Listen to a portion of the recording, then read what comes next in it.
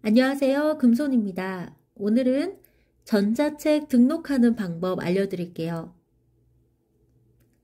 먼저 upaper라는 사이트에 들어갑니다.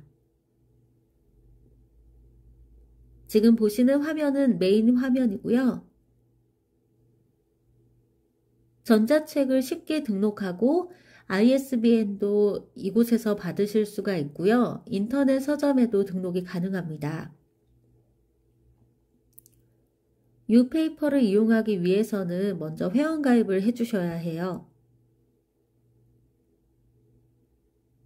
이렇게 이번 주 베스트셀러, 이번 주, 이번에 새로 나온 신작들이 나와집니다.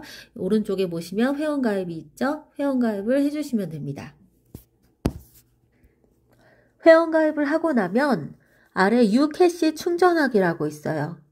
유캐시란 현금하고 동일하게 사용하실 수 있는 포인트를 말하는데요. 전자책 구매나 판매 등록 시 DRM 수수료 등에 사용하게 됩니다. ISBN 발급받을 때도 사용하게 됩니다. 그래서 충전을 해 두시면 좋습니다.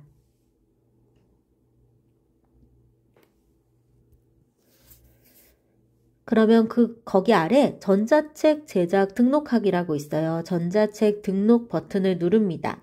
그러면 전자책 기본 정보 입력하는 칸이 나와요.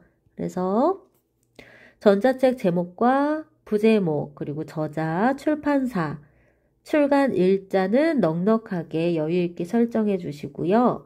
카테고리에서는 자신의 도서와 맞는 카테고리를 정해 주시면 됩니다. 그리고 도서 소개 정보를 100자 이상 입력하시면 되고요. 저자 소개도 50자 이상 입력하시면 됩니다. 다음 단계에서는 PDF 등록 버튼을 누르시고 파일을 선택하시면 됩니다. PDF 파일을 등록하시면 돼요. 그리고 ISBN, ISBN, ECN은 비워두시고 PDF 전자책 표지 버튼을 눌러주시면 돼요. 표지 템플릿이 새로 나왔습니다.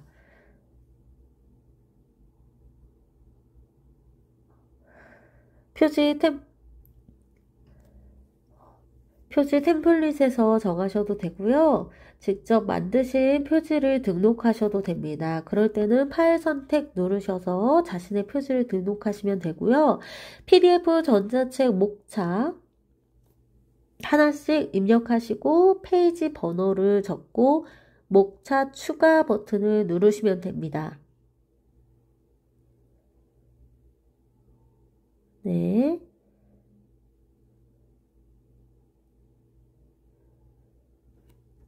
그래서 목차 추가 버튼 계속 눌러서 저장을 해 볼게요. 자, 판매 신청을 누르시게 되면 전자책 판매 정보 입력한 내용이 나옵니다. 그래서 ISBN 자리는 비워두고요. 판매 가격을 정하시면 됩니다. 판매 가격은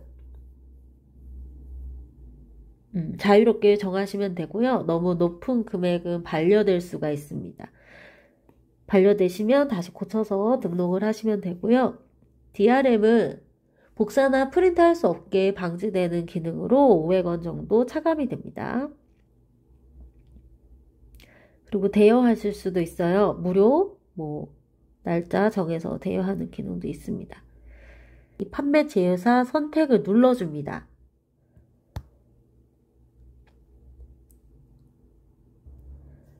그러면 제휴사에 체크를 하지 않아도 유페이퍼에서는 판매가 가능하고요. 유페이퍼에 판매된 경우 70%를 지급합니다. 그리고 제휴사 수익 배분은 제휴사에 따라서 다르고요. 어, 전체를 이렇게 선택을 하셔도 되고 현재는 어, 예스24 알라딘 교보 이렇게 대형 서점에는 ISBN의 등록과 동시에 판매 신청을 하실 수가 있습니다.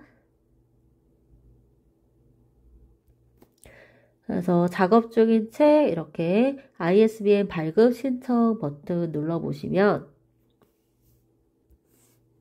어, 미신청 신, 미신청일 경우에 ISBN 발급 신청 버튼이 있어요.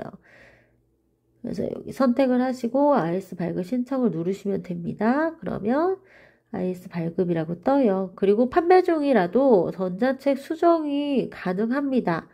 PDF 전자책 파일도 다시 올리실 수가 있고요. 표지도 다시 올리시고 판매 신청 버튼을 눌러주시면 됩니다. 어, 유페이퍼의 특징을 한번 볼게요. 유페이퍼.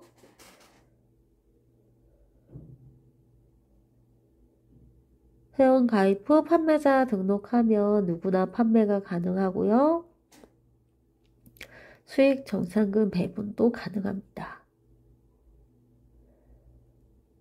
그래서 유페이퍼 잘 활용하시면 전자책 등록 누구나 가능하니까요. 사용해 보시면 되겠습니다.